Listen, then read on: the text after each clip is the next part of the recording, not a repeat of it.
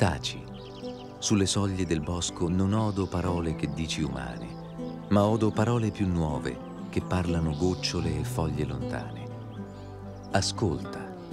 Piove dalle nuvole sparse, piove sulle tamerici salmastre ed arse, piove sui pini scagliosi ed irti, piove sui mirti divini, sulle ginestre fulgenti di fiori accolti, sui ginepri folti di coccole aulenti, piove sui nostri volti silvani, piove sulle nostre mani ignude, sui nostri vestimenti leggeri, sui freschi pensieri che l'anima schiude novella, sulla favola bella che ieri t'illuse, che oggi mi illude, o Ermione. Ricchissima la flora mediterranea, a partire dal Chenopodium album.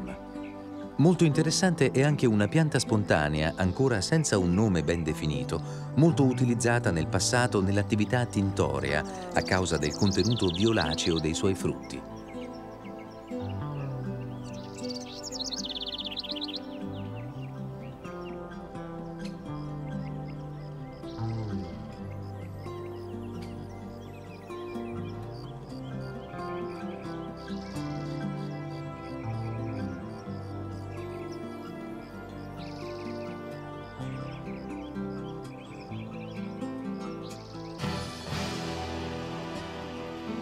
Ancora la fillirea, un arbusto tipico della macchia mediterranea, molto simile all'olivo. Si riconosce perché la parte inferiore della foglia non è biancastra come quella dell'olivo stesso.